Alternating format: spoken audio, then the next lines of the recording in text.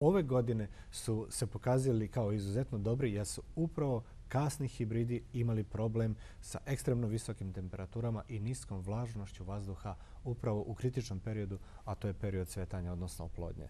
Prema tome, ljudi treba da se oslone na dobro proveren sortiment, na one hibride koji su im pouzdani, jer vidimo da je svaka godina priča za sebe, svaka godina je jedan novi izazov. Prema tome, ne treba previše rizikovati, treba ići na sigurnu proizvodnju, novi sortiment uvoditi polako i vidjeti da li je on za našu parcelu ili ne. Da li je NSM za sve naše parcele? A NSM je definitivno za sve naše parcele, to pokazuju i rezultati ove godine. Puno hvala i srešćemo se pred tamo u martu mesecu kad treba sve ono da, da poradimo i sve hibride da predstavimo u onom svetlu koji oni zaslužuju. Hvala vama sa zadovoljstvom. Doktor Goran Bekavac, Instituta za ratarstvo i povrtarstvo. Hvala, hvala još jednom, doktore, što ste bili gosta. Mi pogledat ćemo priče, pogledat ćemo Zoltana Bergela, čini mi se, ili ćemo pogledati Dunav Dunav soja i Sigenta repa. Dunav soja je znak dobar da Dunavske grupi u tom regionu gde se gaji soja, GMO free, potpisnici smo i mi tog dokumenta, te deklaracije koja je potpisana u Berlinu.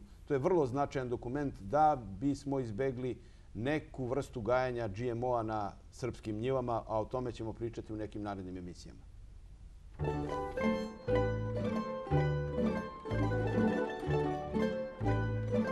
Na inicijativu Ministarstva poljoprivrede Austrije, državni sekretar Ministarstva poljoprivrede, šumarstva i vodoprivrede Danilo Golubović tokom sajma Zelena nedelja u Berlinu potpisao je 19. januara 2013. godine deklaraciju Dunav Soja, a potpisnice deklaracije su zemlje Dunavske regije, među kojima su Austrija, Hrvatska, Bosna i Hercegovina, Bavarska, Mađarska, Slovenija i Švajcarska. Cilj deklaracije je uspostavljanje nove politike u oblasti gajanja soje koja će omogućiti bolje korišćenje domaćih resursa i umanjiti prekomernu zavisnost od uvoza soja koja se koristi za proizvodnju hrane, a posebna pažnja biće posvećena uzgoju, preradi i korišćenju GMO-free soje. Postoje više različitih uzroka niskog prinosa soje kao što su opšti ekonomski razlozi, visoke cene i klimatske promene. Takođe, razlozi za lošije rezultate proizvodnje mogu se naći i u organizaciji proizvodnog sektora. Za srpsku poljoprivredu i Srbiju kao zemlju Dunavskog sliva, potpisivanje Dunav deklaracije je od velikog značaja jer se na taj način jača regionalna saradnja, povećava vrednost domaćih proizvoda i utiče na širenje tržišne GMO-free hrane. Da podsjetimo, inicijativa za Ministarstvo poljoprivrede, šumarstva i vodoprivrede Republike Srbije pristupi Dunav soja deklaraciji proistekla je na Međunarodnom soja simpozijumu održanom u Beču 5. septembra 2012. godine.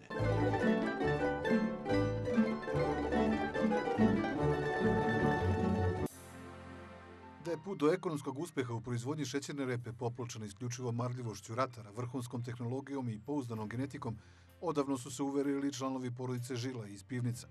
Njih je bogato iskustvo učvrstilo u uverenju da se u borbi za šećer valja osloniti na koncept koji nudi Sinđenta.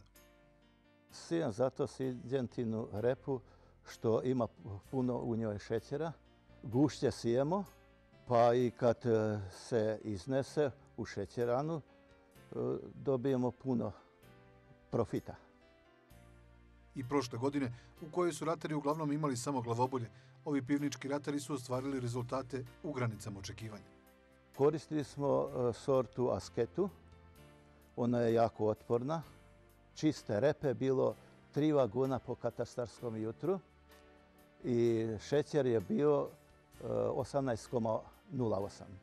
I uopšte, koliko si imao 25-6 godina šećernu repu, ovo je bila najveća digestija ove godine što smo imali visokom stepenu sigurnosti u proizvodnju sinđentinih sorti šećerne repe u mnogome doprinosi to što su njihova semena naoružena vrhunskom zaštitom. Osnovu čini pouzdana Force Magna.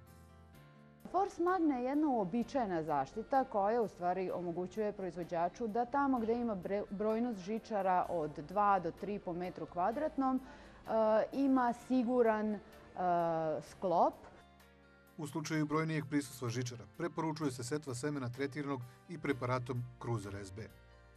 Proizvođači koji se dugo bave proizvodnjom šećerne repe će svakako znati i setiti se da u ono vreme kada smo radili e, setvu sa inkrustriranim semenom šećerne repe i sami nanosili te neke insekticide, tada smo već počeli da radimo i da shvatamo koliki je u stvari benefit od kruzera kada se on nanese u nekoj jačoj dozi. Baš ova e, količina se sada nalazi na pileti sinđentinog semena. Ukoliko proizvođači budu zainteresovani, znači morat će da naglase da je u pitanju kruzer SB. Jeste dobro seme zaštićeno, ali koristimo još Force u depozitorima. To je kao jedno manje prskane od e, pipe. Sačuvan je plodoret, do špartanja, onda prskamo od e, trave, prihranu radimo, pa prskamo od cerkospore jednom, ako je potrebno i dva put, ali ove godine je samo jednom trebalo. Na temelju ovakvih iskustava na njivama porodice Žila i ove godine će se proizvoditi šećerna repa. Na putu do novog uspeha igraće kažu samo na sigurno. Pa opet ćemo asketu i možda na probu neku novu, ali od Sinđenta sad.